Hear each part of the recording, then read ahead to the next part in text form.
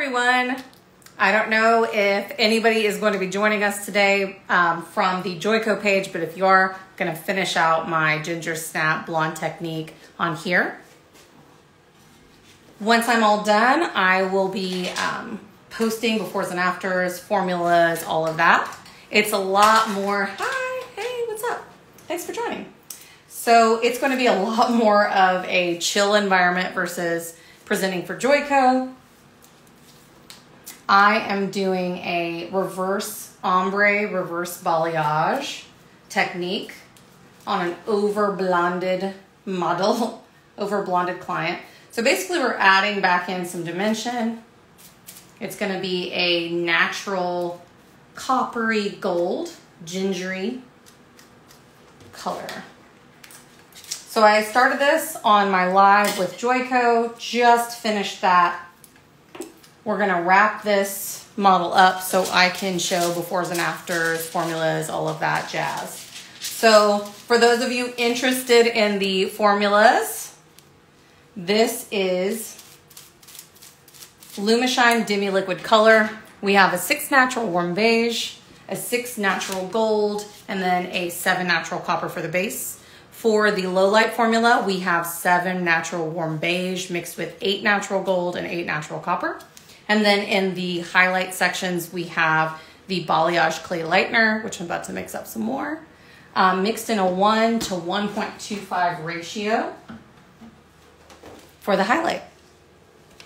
Um, this technique utilizes diagonals, zigzags, um, all of that in order to get a little bit more of a blend, uh, a seamless application so we don't have to work as hard, basically. You don't see a whole bunch of lines in this. So that's one of the reasons I love using diagonals. You cover a lot more ground quicker.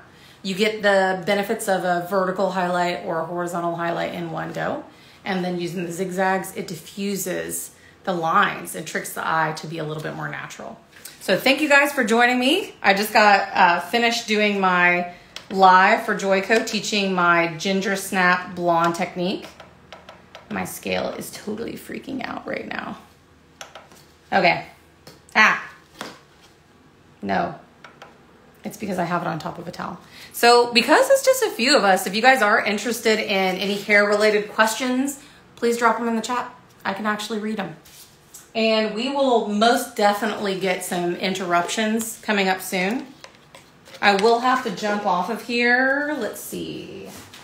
I'm gonna jump off of here at 4.30 at the latest, maybe earlier if my toddler freaks out.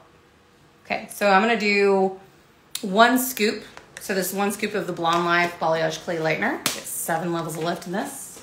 And I am going to mix it with both five volume and um, 20 volume. So we're gonna make like a 10-ish. So we're gonna do 0.5 ounces of the 20 volume.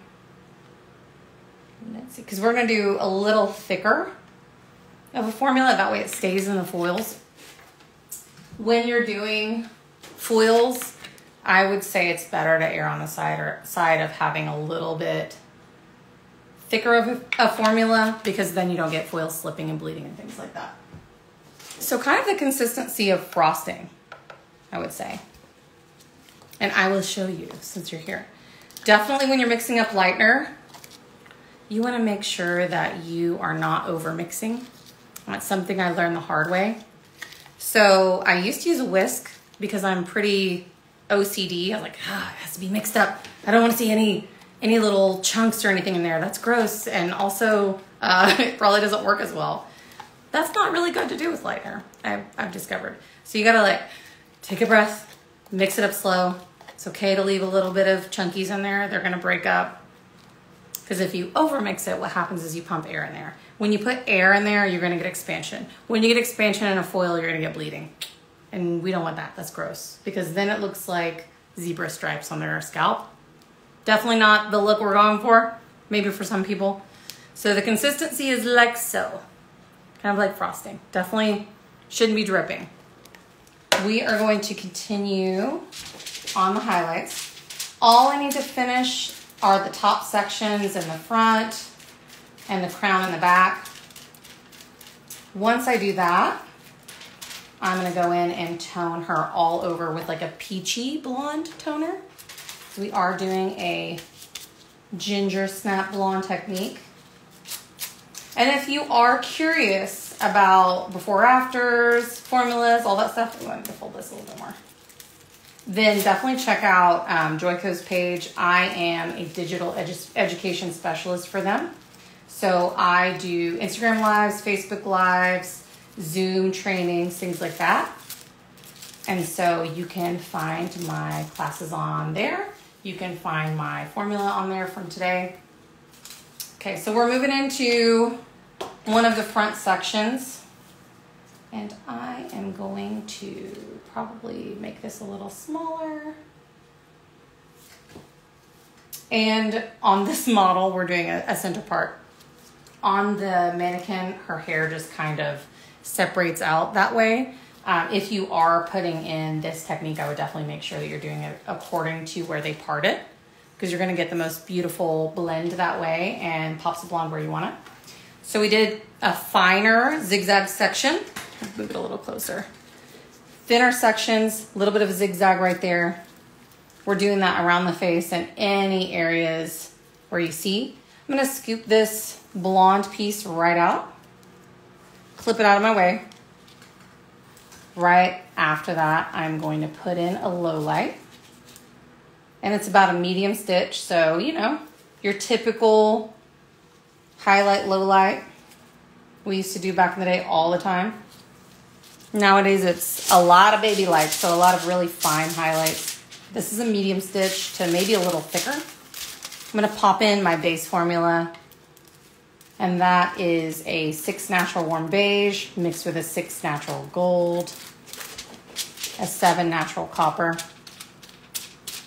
And that's okay if it touches where the highlights are gonna go in at the base It's gonna give it a little bit of a root tap or a little bit of a shadow root. I am gonna paint it at a diagonal going down as we go toward the back. And right around the face, I'm gonna be pulling these low lights all the way through. Why do I do that? Highlights look brighter when they have depth around them. And so if you've ever had a blonde, if you do hair, some of you I, I think do, um, that feels like they're just not that blonde anymore. They don't have that contrast, that pop. It's because they're too blonde. They need some depth added back, or they need depth right by where the highlight is. Okay, so the this is the low light. We are going to clip it right out of the way, or just stick it back there. I think it's gonna stay. And then on this section, right below the low light, I'm gonna paint the Formula One halfway down.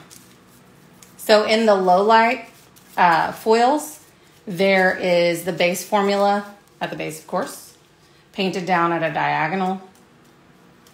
And then there is the low light formula, which is um, seven natural warm beige, eight natural copper, eight natural gold through here. On some of the low lights, I'm going to be painting them um, all the way down, like I did on the one you just saw. Sometimes I will pull them like three quarters of the way down. And then in between, we're just painting in the base formula um, about, I'd say about halfway down um, or so. I probably will give her a trim later. So also consider that. Sometimes it's good to, give your um, client a haircut beforehand. It's probably actually the best practice. At least get off some of that um, hair at the bottom that you absolutely know you are not going to keep. Number one, saves time. Number two, saves color. Number three, you have to think about it in terms of placement. So I am going to pop in the highlight that goes right on top of the low light, which reminds me in my live with Joico that I just completed, the Ginger Snap Blonde technique, I did skip a foil. So I'm gonna have to go back through the side section. There's a foil that I did not paint the blonde all the way through because I ran out and then I ran out of time. Okay, so I am finishing up the top and around the face. Let me find where that little foil is. It's gonna be fun. fun in the loosest of terms. Okay, let's move this. There's a low light. I'm gonna grab this piece because it'll help me lift this out of the way. And I am a solo artist, guys. So I do not have the luxury of having an assistant be my human hair clip. so this it's always fun. Always always fun in the Maxi house. Okay, so here I believe, yes it is. So this is the highlight that I did not paint all the way through. With color and with lightener, saturation is 100% one of the most important things, if not the most important, you and to make sure that you thoroughly saturate your sections. Otherwise, you're just not going to get the results that you're looking for. So if you don't thoroughly saturate um, a highlight, you're not going to get the consistent lift or the amount of lift that you're looking for. So more is more. Uh, I, I've always been kind of heavy-handed with my lightener anyway. If uh, I didn't own my own salon, I'm sure there'd be a lot of uh, a lot of angry talk from the owners about wasting color, but I do feel like it's better to oversaturate than undersaturate. As we say in the business, if you undersaturate, if you're not being consistent with your painting and really saturating your sections, you're going to get holidays. And that's where your color done gone and took a vacation. So basically you get blotches. So make sure you always saturate your sections really thoroughly. Okay, so now we have this kind of large triangular section. We're gonna start going from a diagonal up to horizontal. So these were all a diagonal. We put some highlights directly on the face or around the face, or around the hairline. And now we're gonna start doing bigger zigzags as well. Now that we're not on the um, areas on the hairline or on the parting or right up in the crown. So big zigzag. Oh, that's not as big as I like. Now we're gonna go like that, guys. Folks. And grab some of this. So bigger sections, we're moving more towards um, half inch sections. We're going to start doing some thicker highlights as well. So we're gonna go a little bolder. And I'm just gonna probably take out these peaks right here of the zigzag that I just did. So I'm gonna clip this out of the way. This is the highlight. Right below is the remainder of the zigzag section. We're going to do a medium stitch low light. You could also do slices. So if you want bolder pieces of dimension on your low lights, do slices. I'm just doing a medium kind of weave. I wanted to get a blendy, um, gingery, blonde result. But if you wanted a little bit more contrast, a little bit bolder um, dimension, go for really thin slices. I like to utilize micro slices quite a bit, and I'll show you what that looks like on the next section. Micro slices are slices you can see through, and they are very close to a baby light, so they're really nice and fine, but you get a little bit more of a bolder result, I feel like. Okay, so this is Formula One. This is the base formula, the darker of the two. It's a six natural warm beige um, a six natural gold, and a seven natural copper. This is my low light formula. I'm going to paint almost all the way down. I'm going to leave out just a little bit. And you could go all the way too. On some of these, I'm going to be painting the low light all the way down. But a micro slice, as I was saying earlier, is one of the things that I started doing whenever I um, began doing hair. when I first became licensed in 2008, um, it was a way to do a diagonal highlight, do a little micro slice, and get a lot of blonde, um, but not look chunky or, you know, too stripy. Okay, so right below the low light, all we're gonna do is take Formula One and we're gonna paint it halfway down. And one of the things um, I always like to consider is where the sun would hit the hair. Oops, look, I got a whoopsie. Be careful, be mindful of where you're painting. But you know what? I have balayage clay lightener. So if I have a little blotch, I can grab a little bit of this. This is the balayage clay lightener mixed with um, five volume developer. I'm just gonna paint right on those guys. Worst comes to worst, later I tip this out with a balayage, but try to be clean and neat. Don't do what I just did. It happens, if it happens, balayage clay lightener to the rescue. Just pop a little bit of that on there. Or, you know, you can always do a little bit of a tip out. If you have an assistant or you have the time, you know, of course you can wipe it. But right now, um, I would like to get this technique done so I can get my afters to everyone who joined me earlier on um, at Joico's Instagram Live for the ginger blonde or ginger snap blonde technique. Okay, so what I was talking about before I made a, a boo boo is you want to think about where the sun is going to hit naturally. It's always going to be brighter around the face. It's always going to be brighter, um, you know, along the part where the sun is going to hit it. So I like to angle my, my painted balayage low lights just a little bit further down as we go to the back. So higher up here, further down here. Another thing that I love to use is the angle of my body to help me to do that. So I'll use this as, a, as an example.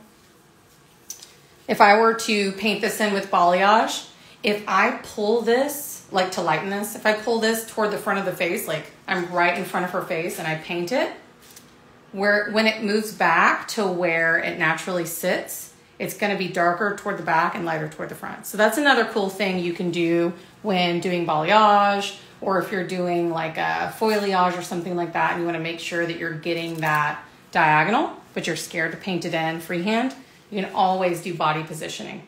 It's not going to work so much if you want to try to get it right up to the scalp with a foil, but if you're painting further down here, doing a balayage, foilayage, it totally does. Body positioning every time. I think we forget that body positioning is an invaluable aspect of hair all the way around. Body positioning is going to alter the way your curls come out. Um, it's going to alter the way your color goes in. It's going to alter your haircut. So don't forget that whenever you are doing a hair coloring technique. Um, I, I almost lost sight of it. We get so bogged down in the details sometimes that we lose sight of, you know, some of the most fundamental things we learned in hair school. So that was something I had to revisit and really think about. Like, what makes you know, hair painting in particular, because I do a balayage quite a bit, um, what affects it? And one of those things was body positioning. I was like, well, duh. So body positioning affects everything. So always, you know, try to try to remember hair school. So the basics. So on this one, because it is a bolder highlight, like a, a chunkier highlight, I know no one wants to hear that, but I started doing hair in 2008, so chunky it is. Um, we are going to leave the blonde not right at the root. And of course, when I paint in the um, section above it and around it, it's going to touch that. So it's going to get kind of that root tap anyway with the base formula. If you have trust issues, go ahead and grab Formula One and tap it. It's fine. We're going to be painting right above it anyway, halfway. You could paint it in the foil too if you want to drop it down just a little bit further. I do want to keep these highlights maybe a quarter of an inch down and then around the face I want to try to get them as close to the hairline as possible. Um, but if you wanted to drop it down further, feel free to paint that in. Just make sure if you're painting in the base color and you're meeting it with a highlight that they kiss, but they don't mix. If they touch all the way, you could create an area of, you know, um, inconsistent lift. So I like them to just like barely meet, barely. So something to think about if you're going to be doing it all in one. I like to just kind of tap it. This also eliminates the need for a, a, a root tap. Okay, so now as we're moving up toward the parting, which is um, center, we're gonna go horizontal. So we're just gonna go horizontal. We're gonna do big zigzags. So this section is gonna be a lot more depth, a lot more bold ribbons of color as opposed to um, finer highlight. So make sure you're getting kind of steep zigzags. You can do even bigger if they want a bolder, like pops of blonde result. I'll do probably one more that's a little bit uh, of a deeper zigzag, a thicker section. And then we're at the very top, we'll do a fine little dainty one. So I'm just gonna grab the peaks of this if you don't like some of the peaks, feel free to do a medium stitch. One of the things I like to do in the top it's really weird. So I'll explain it, but I think it always turns out pretty cool. So pretend like you're doing a baby light or a fine weave, and then stop, skip, and then do a fine weave again. So basically, you're leaving a pretty big gap in the middle, but what does that do? It's going to give you these bold ribbons. You can also do that with, I like to call it a dash light. I don't know if, if that makes any sense, but when you're doing when you're doing a highlight like this where it is dash dash dash. Does that make sense? Like a bigger. So you could also do it like that. You do it in threes you can do it in twos. Um, but that's something i've been playing with a little bit. I've been really enjoying it um, if we don't play in our jobs we're totally going to get burned out and bored or at least i do so i'm going to skip that middle section i'm going to grab a little bit fine weave from the top. I'm going to clip this out of my way. And it is still it is still going to be bold, even though I did the little the fast weave because of those steep points. We're going to go through and we are going to do our low light. And this is Formula One in the Lumishine Demi Liquid color. And I'm going to be painting in the base and then I'll be doing the low light melted together in the um, in this foil. It's right below where the highlight is. So the last one I did not paint all the way through, so I'm gonna paint this one all the way down. You could of course play with this. You could alternate between doing um, just the base formula all the way down.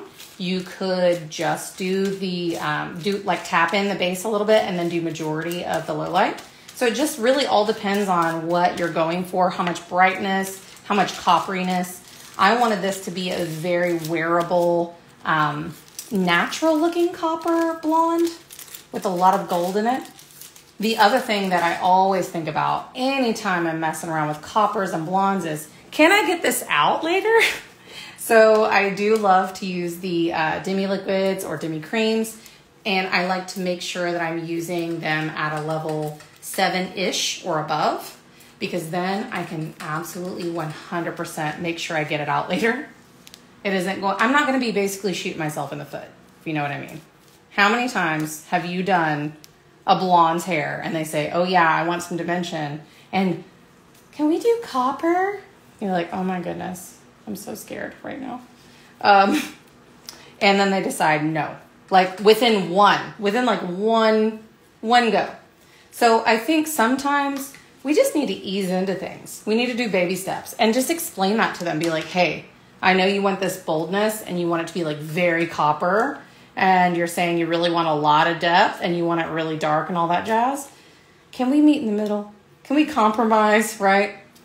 And I promise, if you want to come back and you want to go bolder, then let's do it. But I would really hate to over oversaturate your hair with, you know, a bright copper and a whole bunch of dimension, and then you end up being like, okay, uh, no, this is totally not me. Um, now I'm going to be paying you for two corrective colors in a row. Um, I also say, hey, you know, we can do that. That's good for me. It's more money, but really, let's, you know, let's think about this long term. The other thing to consider is yes, change your life or change your hair, change your life. I've always been like that. I started coloring my hair when I was 12 years old. Um, the first time I cut my hair off to an inch long and bleached it white, platinum, I was 12. So I understand that. And sometimes, well, actually, so often. Um, oh, holy moly. I'm doing it again. I'm talking. Um, this was supposed to be a highlight. So we're going to do a highlight right on top of that one. Just dismiss, dismiss that. Anyway, what I was saying, I was getting so worked up about change your hair, change your life, right?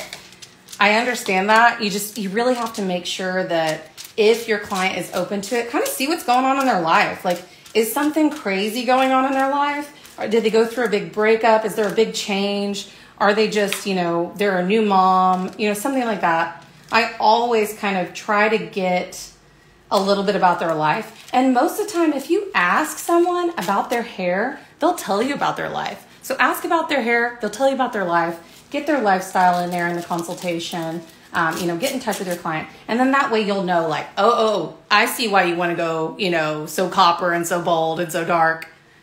you are having a moment, you know, but don't say that. They might get mad. Depends on the client. Um, and that you might want to talk them off the ledge on that one. Be like, all right, so you've been platinum blonde for like, you know, 15 years now. So let's ease into it. And this is a perfect technique to ease into some more depth, ease into some coppery um, golden hues. So I made another boo-boo and I'm gonna make sure that I make the same boo-boo on the other side of putting um, two low lights close together. So we're gonna get a little bit of a bolder low light right there. But I'm going to make sure that I get that stitch right here that I was looking for of highlight. Cannot forget the highlights. She still wants to be blonde, guys. She still wants to be blonde. So let's get that in there. And I'm just gabbing you guys, chatting you guys up feel free to chat me up in the chat. If I have a second, I will absolutely swing over there and see what's up, answer your question. So this is going to be my highlight. I am going to skip this guy. Oop, let me grab it. I'm to skip that guy. We're to do pretty bold peaks right here. This one I need to go ahead and paint in my base formula so it goes along with the in-between pattern. And I am just to hand paint this little guy halfway down. Now we're to do the highlight, trying not to grab a bunch of extra hair. And this is with the balayage clay lightener. And I was talking about um, the balayage clay lightener before. As you can tell, I'm walking and talking, but I'm not moving really fast. So sometimes using a lightener that has um, less lift is a little bit better for me. That way, by the time I'm done with the front, I'm not like, oh my goodness, on the back, it's ready. And a lot of times, especially on this blonde, she does not need a lot of lift. So I mixed this with, this time, now that I'm working on the front, a 10 volume, but everywhere else, I mixed it up with a 5 volume because I only want to pop it up just a little bit.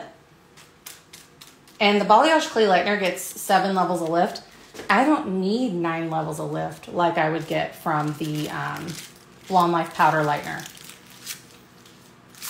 I don't even need the seven. So I definitely dropped down my developer and made sure that I was taking into consideration the health of the hair, but also the end result. So we're at the very end here on the top.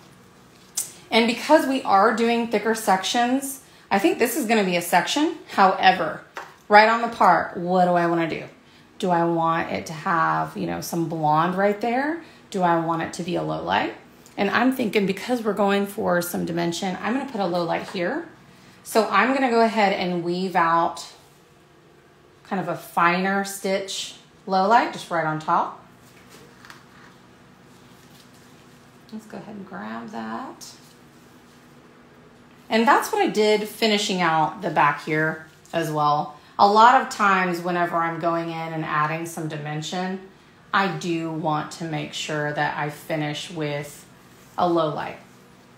It'll also help with the um, grow out, having some depth here on the parting if they want that lived in look. Okay, so I'm gonna go in and put in my low light, making sure that I am painting it a little bit further down toward the crown, dropping it down and then not as far down toward the front. So in the front, I might take it an inch, inch and a quarter. Toward the back, I'm gonna take it probably almost halfway down on this little diagonal. And I'm not reapplying color to my brush. I'm just feathering down kind of a drier brush. This is also a really important um, technique to use whenever you're shadow rooting on a client in general, but also on extensions. I don't know if a lot of you guys mess around with extensions, but um, using the Lumishine Demi Liquids is a wonderful thing to do when you're adding in a shadow root or dimension or painted in um, hand painted lowlights into extensions to make them more believable and more natural for your client. So maybe first at the root, just like I did on this low light, paint in your base color and then don't reapply color. Just kind of use a drier brush or even literally a dry brush and smudge it down. You're gonna get a better, softer, featherier blend. So this is the low light. And again, like I said before, during my live, it's okay if some of that base touches it. It's going to end up there anyway. I am gonna go in here and add a highlight probably somewhere in the middle. So let's do, let's do a finer zigzag right here.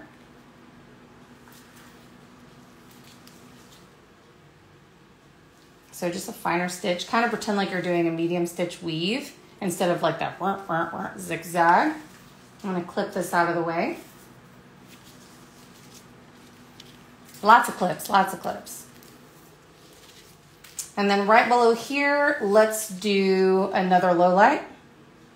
And then we're gonna do our halfway um, paint down after that, below that, and then right above that's where we're gonna do that, Ooh, that highlight. There we go. Making sure to grab these hairs over here. This is part of that section. Okay, so this is gonna be one of my low lights. Thanks for hanging out with me, guys.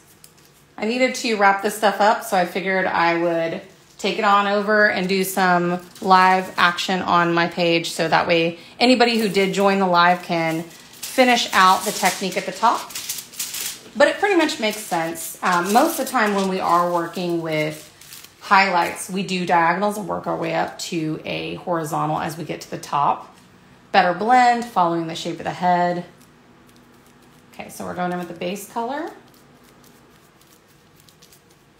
And we're gonna paint it down just a little bit further toward the back. So I know this is like watching paint dry for some of you that do hair. It's always good to um, you know, good practice to repeat myself when I'm doing a live. There's a lot of people that join in later. Maybe not on my page, you know, my humble page, but whenever I'm doing lives for Joico, absolutely 100%. There's people that join at all times, hop on, hop off. I am totally one of those people because life happens. And one of the benefits of doing a live is you can kind of pop in, be like, oh yeah, cool, what are they doing? Oh yeah, what's the formula? They let you know, they let you know the technique you can watch part of it and be like, okay, later when I have some time, I'm gonna go check out the stories on, you know, Joico's page at Joyco or on my page and see what the formula was if I forgot. Okay, so right below that low light, we're gonna do the halfway down on this. And that's um, pretty much exactly what I'm gonna do in the crown area to finish off that crown section. So I do like to put the low light right on top just because I want it to, if this was a, a live person, grow out a little softer, give them a little bit more of that lived in feel.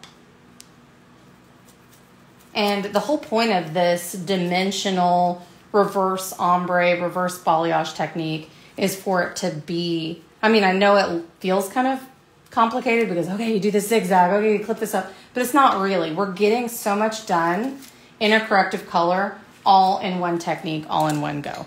So instead of, you know, uh, putting in the highlight, going in and putting a shadow root, doing the melt, you know, all these things, we're getting this knocked out in one. So right above the low light, I am going to just grab all of this as a highlight. And I might do the chunky thing again. I really like that. Leaving like a stitch out here and there. So just grabbing whatever I'm like, mm, let's, yeah, let's let's do a little bolder in the front and then toward the back, and maybe a little little less bold in the center. Play around with um, your patterns. And playing around with the patterns of your highlights is going to be beneficial anyway because it's going to give you um, a little bit more of a diffused look. You can hide lines so much better. You don't see this pattern nature isn't very patterny when it comes to hair, or I feel like it's not. That's why a lot of times when you look at beautiful, like young, you know, kiddos' hair from the summertime, it's hard to kind of pick out what the pattern is. You're like, okay, well, I know it is lighter around the face, but it's just very um, dimensional, but also so blended. And so, you know, changing up, playing with your patterns is going to mimic nature. And as much as I love bold colors, I mean, you know, my hair is magenta. Um, I also really, really enjoy mimicking nature because it's difficult. Don't we like to test ourselves sometimes, you know? So this one I did put a foil on top. I don't really want to move that one around too much. You can do double foils, you can fold it. I want to make sure to paint the hair that I left out down. And I'm going to paint it about halfway down. Let's flop this back. There we go. Leaving out some of the tips on the low light, those are going to be toned later. So this one is also going to be that um, painted halfway down. And then we wrap up that top section. There we go. And again, painting your angle just a little bit further down toward the back. It just looks more natural. You could just, if you were going for really basic, you didn't have a whole bunch of time, um, maybe you're not comfortable with painting things down at a diagonal, you could probably just melt it, like paint it halfway down, and then take maybe a lighter blonde color and melt the two together to kind of give you that smudge. Because, yeah, it can be scary um, hand painting in a low light. But because we worked with diagonals and zigzags, I'm not that worried about it. I think it's gonna be all good. And definitely don't don't put color on your client's face if you can help that. Poor girl. Okay, so now we are gonna do the same thing on the other side. Oh, and for those of you that um, didn't join the live earlier, of course there will be befores and afters, formulas, all that jazz. Um, whenever we get on to when I once I finish this. um, but this is the end result. So it is a very natural, gingery, dimensional, um, I would say coppery golden blonde. And this is how this dried. This air dried like this. So after giving it a little love with the Lumishine, you know, having Bond, it has Bond Builder built right into the formula um, as well as giving it the uh, Joico Pro Series 1 treatment, it really helped. It really helped that mannequin's hair because this is just air dried. Air dried and no conditioner. So if that doesn't tell you something. So let me finish off this crown because I will probably need to rinse this back section first and then proceed with the, the rest of the top. I'm going to move these out of my way. Always make sure you move your foils out of your way and have plenty of good working space. So just like I finished at the top, um, finer zigzags. So we're gonna do little, little baby zigzags. Pretend like you are doing a, uh, like a weave. And I wanna make this more horizontal. So we're moving more horizontal as we are getting up to the crown area. Put this back in. And I am going to try to pin this out of the way. It is okay if some of the base touches the base of this section, but for neatness sake, I'm gonna pull it out of the way. So very, you know, very small section compared to the interior sections. And then definitely I would go with a finer, finer weave, medium to fine. You could do baby lights if you wanted, but I feel like if you do smaller pieces or baby lights, you're gonna lose that dimension. It's gonna be super blendy. So if you want it to be super duper blendy, then do tinier sections. If you want it to be bolder pops of blonde, do micro slices. And those are just slices that you could read a newspaper through. And then if you want some fun variation, change it up. You know, do some medium stitches, do some um, dash lights, do some of that weird technique that I did earlier where it was like fine weave, skip a big section, fine weave. Pretty cool. That way you can just have some interest. Also, it makes you, um, you know, invaluable to your clientele because you are doing couture hair. You know, are you doing the same pattern you learned in hair school? Or are you stepping it up and continuing education and being 100% couture, adjusting it to what trends are, adjusting it to your client's lifestyle. But ultimately, don't tell for fun.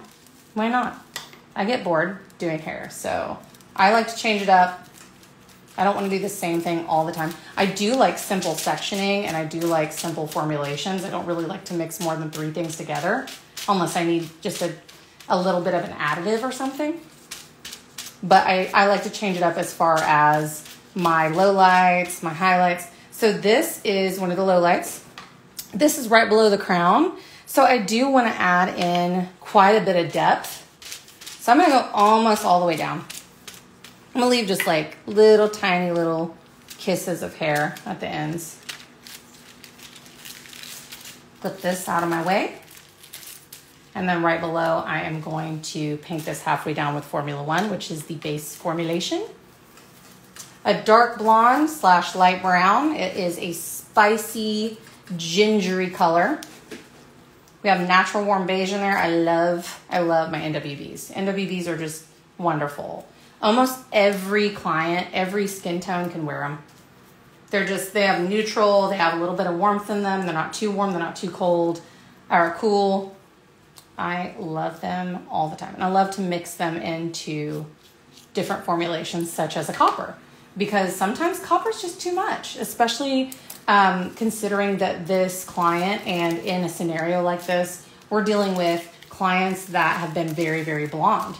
A lot of times they don't want, oh my goodness, brass or oh my goodness, orange. So if you add that natural warm beige in there, the base is beige. And what is beige? Beige is a little bit of mauve, a little bit of uh, purple is in there, just to make sure we don't go too brassy. And what does purple get rid of? It gets rid of brass, gets rid of yellow. So having a little bit of that, a little bit of something more natural in there, um, in addition to the fact that Lumishine is a pre-blended color and it already looks very natural to begin with. It is just a little extra insurance that we are sticking in the family of a very consumer-friendly, non-fashion shade copper. Oh, I'm getting ahead of myself. Sorry. I do that sometimes. Walking and talking, guys. Walking and talking. So that is the highlight. Make sure to get it out of your way. Otherwise, you're going to do like what I did earlier, which is to low light it when you do not intend to which I think in this technique, because of all the zigzags, it's going to be pretty light and soft. And normally I would be doing this all in one section. It's just because I started doing them in quarters that I'm having to kind of do this like little tiny highlight. But normally you'd be doing all the way across. Or this is a low light, sorry. See, I'm confusing you guys. Keeping you on your toes. Keeping you honest. Okay, so thank you guys for joining me today.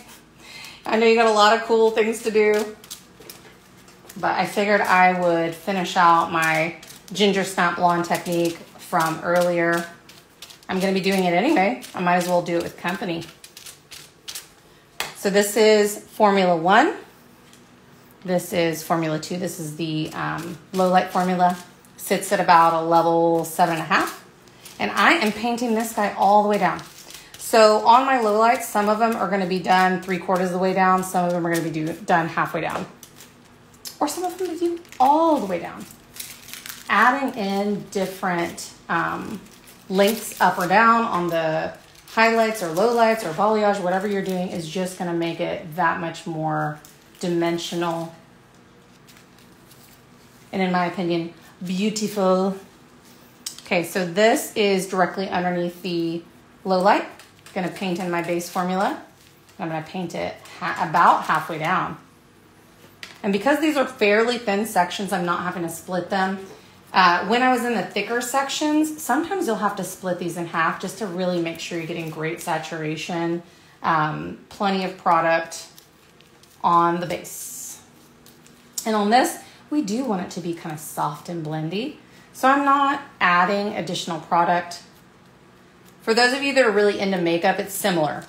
So I another little tidbit about me is one of the first ways I was able to pay for my booth rent because back in the day I worked at a pretty edgy but popular salon.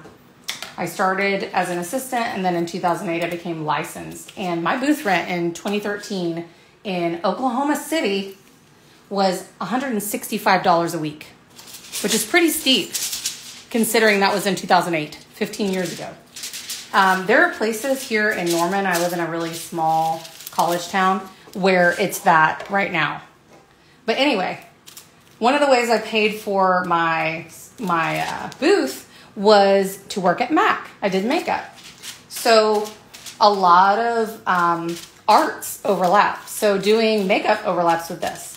And what I was getting to is whenever I paint in balayage or I paint in that low light that I was just doing in between, um, I was saying I load the brush, do like begin where you want it to be the boldest, the most deposit of color, and then don't add any more to do the blend to make a little bit more of a smoky um, aspect. So similar with eyeshadow, um, if that helps you to understand doing that with balayage or painting in a low light. Okay, so we're at the very top of the crown and just like the very top of the parting, I am not gonna be adding any more highlight here. I am going to go in, I'm going to do a medium stitch low light. I'm going to do that first. And then we're just going to do our hand painted balayage low light right underneath. But yeah, if you're into other kinds of art, like doing makeup or, you know, painting in general, it's all related. It's all very similar. So think about it like that loading up the brush, beginning where I want more of the deposit of color, and then not adding any more color to blend, to kind of feather down and be a lighter application. And even in some cases, and I do this with makeup as well, um, have my paint brush or like my loaded up brush, and then have a dry brush that I go in and blend with. Or just like this. So this is a lighter color. It is the um, low light color Sometimes you can take a lighter color on a different brush and blend it out too, which is what I'm doing as well. So I'm gonna tuck out those ends, fold it up, and then right below I'm gonna do my balayage freehand painted um, shadow root or melt right here. So this is the formula that has six natural warm beige, six natural gold, and then seven natural copper to it. And I am making sure to get the base. You can also, you know, damage control later. I really prefer not to. We're trying to get the corrective color just done in one in one session and one technique. Um, but you could go back through and do a shadow root if you needed to, if you felt like it wasn't enough depth or to blend out, maybe a highlight, you want to do a root tap. I didn't really need to. I felt like it was because of those diagonals and zigzags and the technique itself and the colors that I chose using a demi liquid um, it melted and blended pretty well for me. Okay, let's finish off this last section. Thanks for sticking with me. Working with company is awesome. I, I work alone. I am in a studio of one here. So having you guys join me makes it a lot less boring. And I am noting right here where there's a highlight, I see a little bit where it did not get some of the base color. So I'm just gonna go in there and grab it. And I think it's because it was kind of hiding behind some of these foils. Okay. As I said during the live, uh, one of my friends and fellow artists uh, said, see something, do something, right? Or see something, say something. And this is see something, do something. You saw it, fix it. Just like with whenever you're doing um, balayage, same thing. So we are gonna go in with large zigzags here. This is where we're going from a diagonal, working our way up to horizontal. So these are gonna be the big ones. And this is gonna be one of our last kind of thicker ones that is going at a diagonal before we go to the horizontal and make it a little softer. I'm gonna clip this out of the way for neatness sake. And I am going to take pretty much these peaks. And I think I'm gonna do what I did earlier Take some of them, skip, and then take some. So like leaving a dash kind of in the middle. Let's see what happens. It's gonna be fun. Change it up. Oh, getting excited, excited again. So I am going to clip that highlight right out of the way. Going to grab a medium stitch kind of low light right on top. Paint that in. And this one, let me think. I will probably do three quarters of the way down, and then the next one I'm gonna pull all the way down. Just for some extra depth, changing it up. Painting in my base color. There we go. All right, so anybody got any good plans for uh, Memorial Day weekend? Is anybody doing anything cool? Y'all wanna know what I'm doing? So my birthday is Memorial Day weekend, BT Dub. Um, it is Friday, and usually I don't get to do jack. Um, or if I try to do something, I live in Oklahoma and it's tornado season. So a lot of times I try to go to the lake or do something fun and it rains like the Dickens.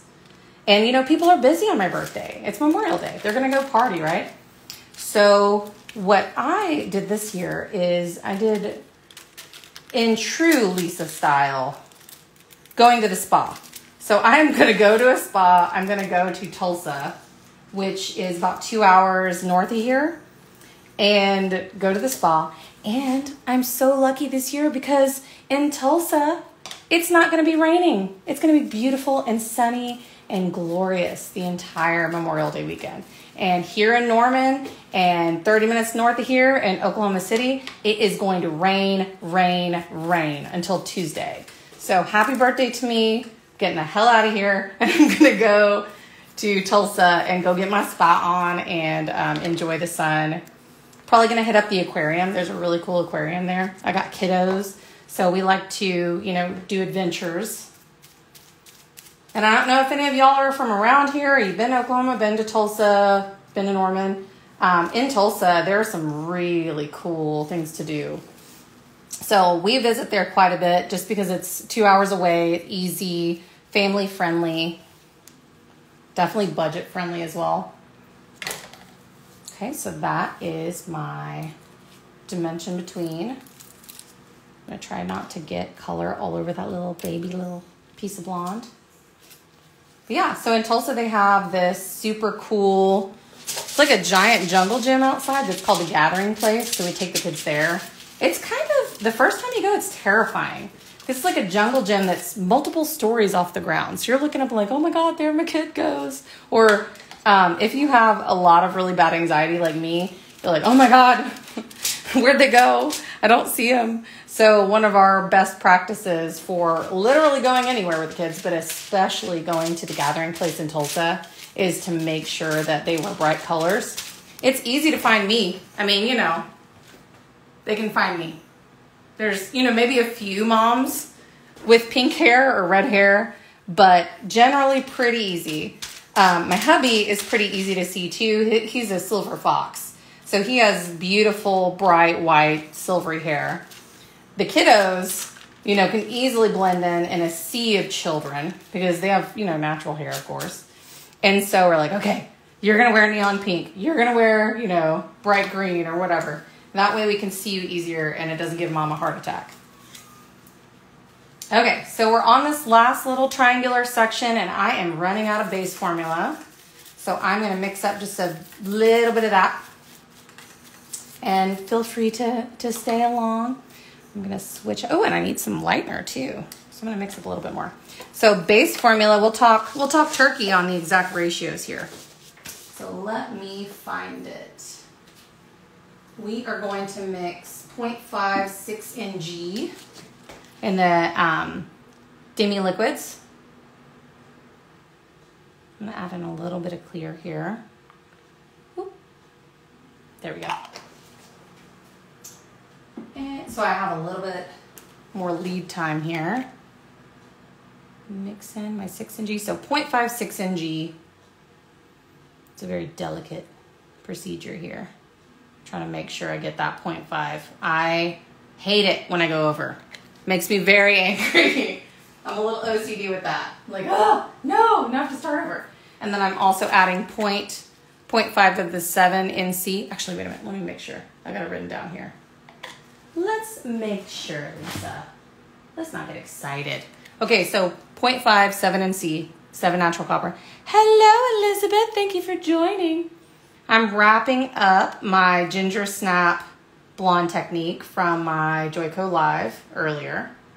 Normally I would do this just by myself, but I figured, hey, why not do it with some friends and get to know each other a little better? I never ever go live it's probably because I never ever wear makeup anymore. and so, uh, you know, it gives me an excuse to hang out with you lovely people while I look lovely. I'm sure you guys could hang if I wasn't wearing makeup. I just don't love it. So we're also going to be adding an ounce of six natural warm beige to this. This is the base formula. So one ounce, six uh, natural warm beige, 0.5, six natural gold, and then 0.5, seven natural copper. We're gonna mix that equal parts with the Blonde Life coconut oil developer. So two ounces of color, and we're gonna make sure we get two ounces of developer in here. And that's one of the wonderful things I love about working with Lumishine is that it is a one to one ratio. Goodness me, that saves some time. Because, you know, there's these color lines out there and you'll be working with a permanent and yeah, it's a one to one. And then you move to the dim line, it's a one to two. You're like, wait, I don't remember. And if they don't have it written on the box, like we do, then you could be kind of mixed up, especially when you're like rushed, you're trying to finish up a technique, and they're like, oh man, uh, I don't remember. And then you're having to try to go online, or maybe you're just trying to guess, and then inconsistent results. I really don't like that. Clients probably don't like that either. So this way, we have it on the bottle, we have it on the box. It's going to remind you one to one, one to one. But also, you don't have to think about it. Once you've used it for a while, you can just be like, oh yeah, easy. Joico made it easy for me. Thank you, Joico. Okay, so I'm to be using my balayage clay lightener, which I'm almost out. It's about time to re-up my kit. I try to keep two of everything as far as my lighteners go. Um, sometimes with my cream lightener, I keep uh, three or four of those because I really love my cream lightener for um, compromised hair because it's a little bit more gentle. I think you get 60% less breakage versus using other um, lighteners in in that scenario. So if you do have weaker hair but you still want to lift them, that's a good choice. Is the cream lightener, the Blonde Life. Okay, so we did one scoop. We're gonna do 1.25 ounces of the Blonde Life Coconut Oil Developer in 20 volume. So I like to do what's calling, called grading my developer. And that simply means that every time I mix it, I mix it stronger, or I mix it faster, I should say. So I go higher on my developer volume every single time I mix it. So today I started with five volume um, because that's sitting on the longest in the back. And I usually do that with a client. And then next one was 10 volume. So I mixed the five and the 20 because I don't have a 10 right now. And then right now we're just finishing this last little baby section. So I'm doing the 20 volume. And for those of you just tuning in, we um, are doing the ginger snap blonde technique. We did zigzag sections that were at a diagonal. And then as we get to the top of the parting, we go to horizontal. They're thicker sections down here and kind of chunkier, you know, weaves. Then as we get to the top, they're finer sections, finer weaves. First formula, yep, we're moving at a diagonal. So yeah, the first formula is the 6 NWB, 6 NG, 7 C, and then the second one is um, 7 natural warm beige mixed with 8 natural copper and 8 natural gold. I'm getting a little tangle in here. So this one's probably going to be the last kind of thick zigzag I do. And then we're gonna finish out the top section probably a little bit more finely. So everything that's in the interior that's not sitting on the hairline or sitting on the top of the parting is gonna be a little thicker, bolder pieces. All right, so let's clip this out of the way. So we did a zigzag. You can see it's pretty bold. I'm going to angle this a little down so you can see a little bit better. So pretty bold, pretty chunky. Now I am going to take pretty much this whole section here. Whoop. It's stuck here, there. And that is going to be a highlight. And like before, I think I'm going to skip out some here. Let's let's do something weird. Let's just hmm, let's grab this one.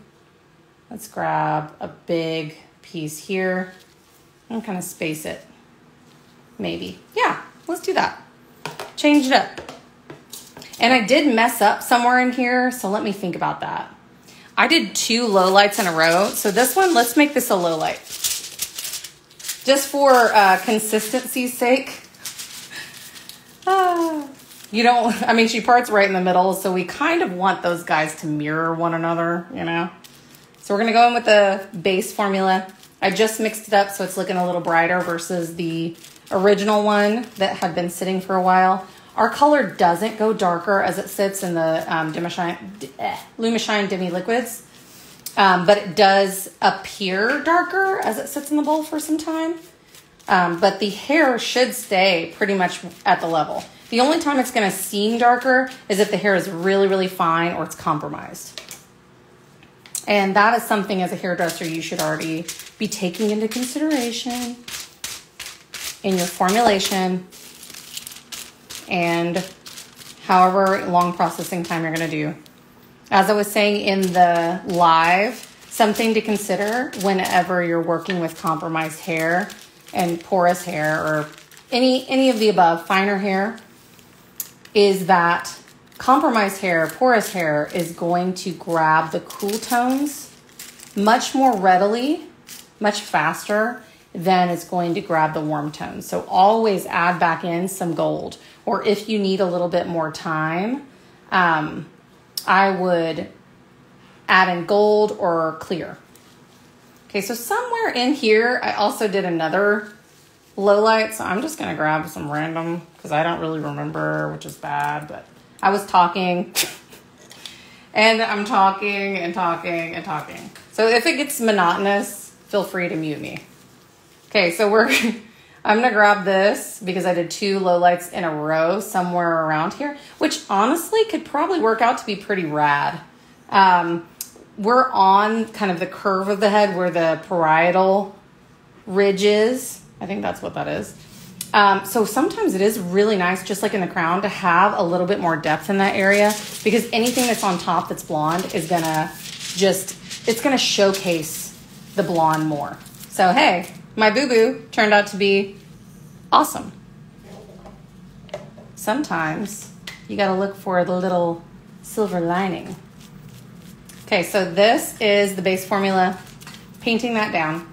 And the other one, I painted all the way down. So this one, I'm to paint either half or three quarters of the way down. Um, toward the back, I'm going to paint it further down than the front.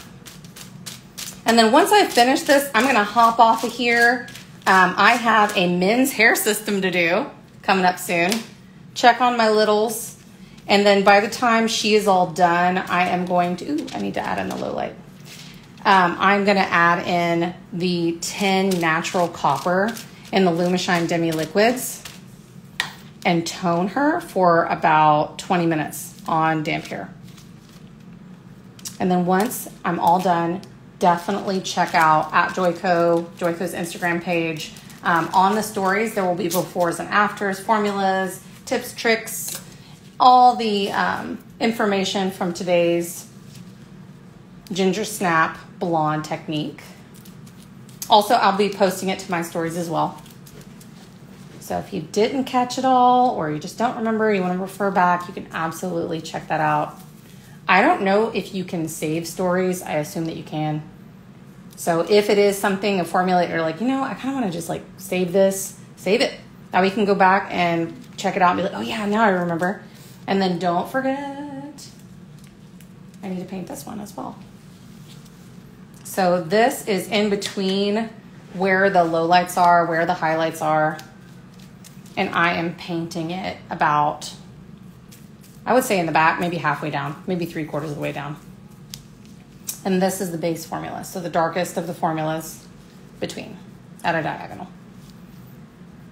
And then if you got trust issues, lift it up, check out the underneath, just like you would with balayage. It is a good practice just to kind of check it out, see if you like it, blur a little bit more, paint a little bit more. And by no means do you need to add more product because the demi liquids as well as the balayage clay lightener. If I was doing this in a traditional balayage, it spreads really easy. So you don't really need to add more product whenever you're doing a blur. Okay, so I'm gonna grab this and make sure it goes back down where it belongs. And it is kind of nice to work from the top down. So if you did forget, working and painting between from the top down just keeps things a little bit more neat. And I feel like it's easier than to work from, you know, because you could be clipping things up if you're starting from the bottom, working your way up. Okay, so this is the finishing section on the part line.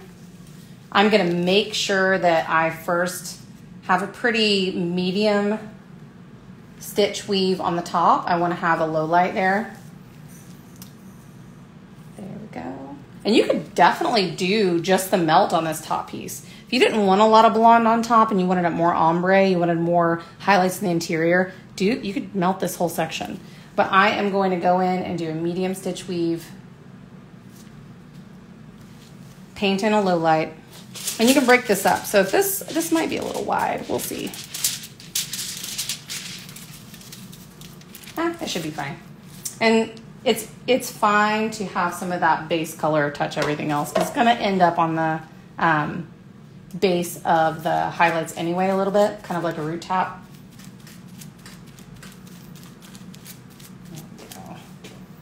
And this is the low light. So I'm gonna paint this one all the way down. So the base formula is right here. Diagonal it down just a little bit in the crown. It makes sense that hair would be a little bit less uh, light in the crown, you know, as far as the low lights go. And then I'm to paint in the second formula, the low light formula, which is the mixture of the 8NG, um, 8 natural copper, and then 7 natural warm beige. And I'm going all the way down on that one. I'm going to add some depth into the crown because it's pretty. But also because it is low maintenance and it is that lived in natural blonde to have a little bit of depth on the areas where we part and in the crown. Okay, so now we have this whole big section. I am gonna do a little tiny wee or zigzag in between here. Let's angle this down just a little bit. And I'm gonna put one last little, little uh, highlight and then I'm just gonna do my paint between on everything else. So let's do that weird kind of dash light. So fast weave, skip, fast weave, skip, fast weave. Change it up. And you could also just do a dash, like, you know, so pick it up, drop it, pick it up, drop it. Going with the balayage clay lightener and 20 volume developer. This is 1 to 1.25 ratio. I want the consistency to be kind of like frosting. Paint it all the way down. And as we're wrapping it up, I just want to thank you guys for spending some time with me. A little less, it's a little less lonely in this solo studio salon. Oh, just kidding. I have some loud ass kids in the other room. No, but but seriously, it is nice to be with fellow stylists. This is the stuff that happens after the lives that you don't see, the time that we put in, and even time before the class. So before the class, a lot of times I will try to do either half or at least one quarter, or even test out my formula on the mannequin, um, just to make sure that I'm giving my people the best experience possible and making sure that I really love the color. But also mannequins, whew, they can surprise you sometimes. But again, thank you guys for hanging out, spending some time. And who knows, maybe I'll make this a habit. I doubt it, but I don't know. I'm I'm coming out of a pretty long, you know, personal information uh, depression and anxiety after the past couple years. And I'm just now sort of feeling like hanging out, just now sort of feeling like doing makeup and doing my hair. So I don't know, maybe if I do that more, I'll want to hang out on lives. And if you guys like this, I'll do it again. Okay, so we have our, that was totally supposed to be a highlight. See, I'm talking. Um, I'm going to do this one highlight then. So let's skip this guy out. And we're going to do right above it the highlight.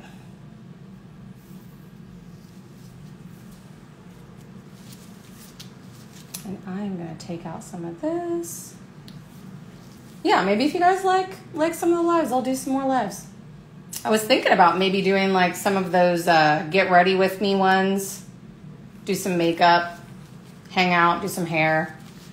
I think as a professional and talking to a lot of professionals, I I really take my consumers and my clients for granted as far as teaching them how to do some techniques. Sometimes you just need to sit down and show people how to put in their weave, you know, or show them how to do makeup. So, because a lot of times when I get my clients in my chair, we're talking about that anyway. Talking about, oh, you should do this bronzer. Oh, yeah. So you can style it this way or this way or this way. Uh, maybe that's what I'll do on some of these lives in the future. Or maybe I'll make a few reels. But to me, because I have kiddos and I've got a really full clientele, it's hard to make that time. So if it doesn't work organically, a lot of times I don't do it. And then, you know, add in depression. Yay! Um, but I feel like I'm not all the way out of it. I think I was kind of born depressed. You know, we have generational trauma in my family, like a lot of people. And then my childhood definitely did not help. And then, you know, my ex definitely did not help on any of that. But guess what is helping? Therapy.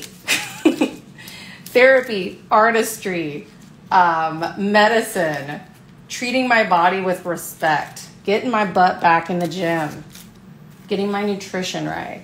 All these things are helping. And I feel a lot more inspired for sure. I never lost, you know, my passion for doing hair. I think really what I lost was just me, you know? And so after coming out of that and doing a lot of work, I finally feel like being back in the limelight maybe a little bit more. Socializing. I know it seems like I'm very uh, gregarious and an extrovert, but I'm not. or at least I haven't been for a very long time.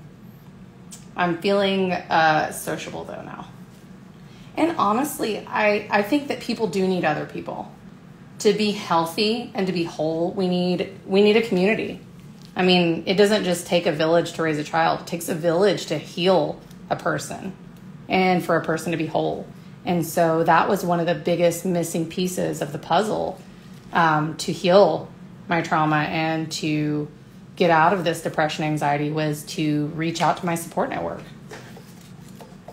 All right, so that's a wrap. Um, definitely, my ring light popped off too. It's like telling me, hey, get out of here. Thank you guys so much for joining me today um, live on my page.